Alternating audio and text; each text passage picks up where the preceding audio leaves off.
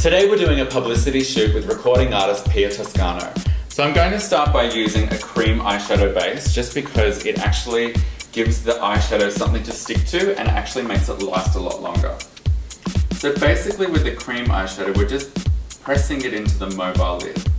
The mobile lid is everything below the socket line to the lash line. So we're just going to set that cream eyeshadow with a powder. Choosing obviously a colour that's very similar to the cream shadow that I used previously because I don't want to change the tone of that. I'm just going to continue a little bit of that bronze underneath the eye. If you can look up for me for a second. Just to give us a little bit of definition and add to the glow. I'm taking it right into the corner of the eye. Now I'm keeping in with the tones of all the browns and the chocolate colours. This is much more of a deeper brown. I'm not quite going to go to the usual black for the liner. So I'm just using a powder on a tight, small, shorter brush close to me. And I'm just brushing that right into the lash line. By using this dark chocolate colour, you can create all the definition and the pop in the eye without it looking like you have a harsh black liner. And then with a small blending brush, I'm just going to blend the edge of that line into the shadow. And then look up for me. I'm going to take the same colour of that chocolate into the So this is basically the eye. Obviously it was very simple and we did very little work to achieve this. If you want to create a little extra strength in the definition of the liner, um, a little trick is to just wet uh, your eyeliner brush and use the same powder eyeshadow that you were using, but use it wet. And that'll just give you a little bit of a stronger definition in that liner without it still turning into like a harsh liquid line. And as this is still just a powder eyeshadow that just happens to be wet, if you like when it does dry, you can still blend it into the, to the other shadow as well. So now that I've actually completed the eyes, I'm going to go in with my concealer palette and just make sure that there are no imperfections anywhere. I choose personally to what, do the base first, then the eyes, but I don't powder or set the base at all. I actually come back to that um, afterwards in case there's any fallout or anything that happens while you're doing the eyes, in case you decide that you want to, you know, remove the eye and start again. If there's any decisions that get made throughout that process, you don't have to redo the whole base. So I'm just doing a little bit of extra concealing. Then I'm going in with a light translucent powder.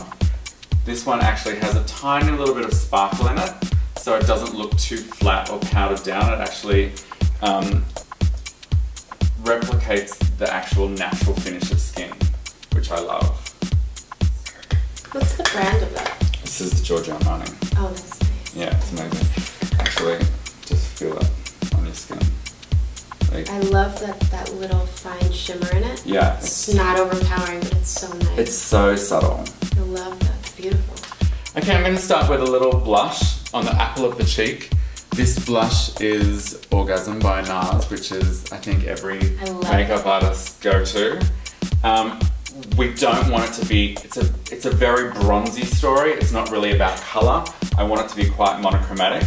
So I'm not going to apply a lot of this. I'm just going to touch it on the apple of the cheek, just to give you like that natural blushed effect. So I'm using this bronzer today, um, which doesn't have any shimmer in it. It's a matte bronzer. And I'm do, choosing to use a matte bronzer because I'm going to use it for a slight contour. I like a big fan brush for my contours because you can just dust it in a straight line underneath the cheekbone. I also like to dust across the temple, the top of the brow,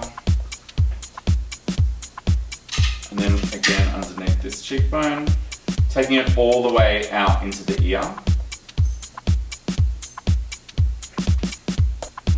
Slight one underneath the jaw. So the way that I've done it is I've used the, the brush flat to create lines.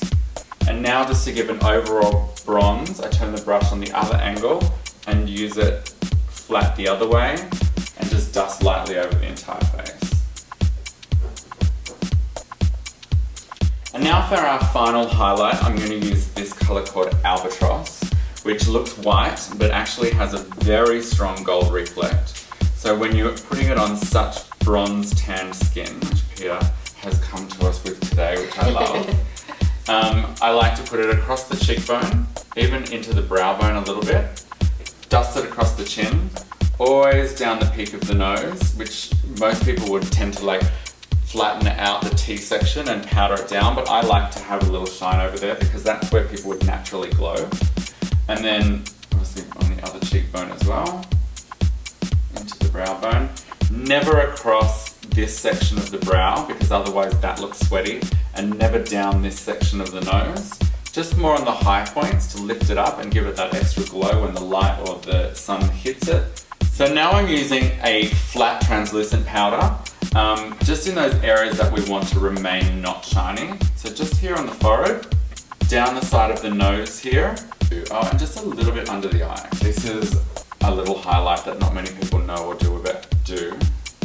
And I like to do it, it's just above the lip line. So Pia already has beautiful thick luscious lashes, so we won't be applying any false lashes today. And I'm even not going to be applying a huge amount of mascara, which is why I'm using a fan brush rather than using the mascara straight to the lashes. I'm just going to paint very, very lightly on the bottom lashes. What do you think? I love you. It's beautiful. It's so gorgeous. Natural glowing. Love the gold. Oh, it's perfect. Guess Thank so. you so much. Pleasure. I love it.